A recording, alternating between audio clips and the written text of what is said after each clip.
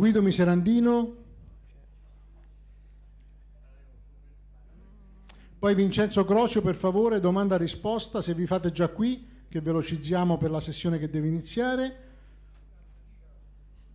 Allora, velocemente, eh, nel 2010 eh, ho fondato assieme ad altri il Comitato Cittadino Democrazia Diretta che eh, mirava ad andare in ogni comune per cercare di fare attuare il decreto legislativo 267 del 2000 che finalmente attuava gli articoli della Costituzione che parlavano di democrazia diretta, di partecipazione.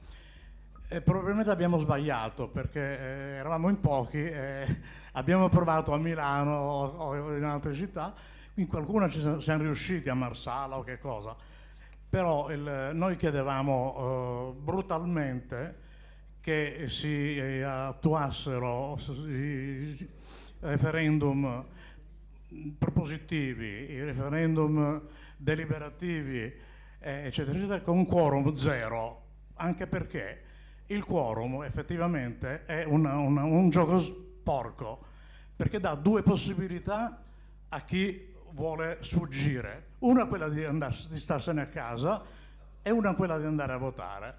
Mentre chi vuole andare a votare ha solo quella possibilità e quindi una parte ha due possibilità di vittoria, l'altra ne ha una sola. È poco, poco democratico. Ecco, io chiedo adesso a voi se questa, queste domande possono essere accettate. Grazie Guido.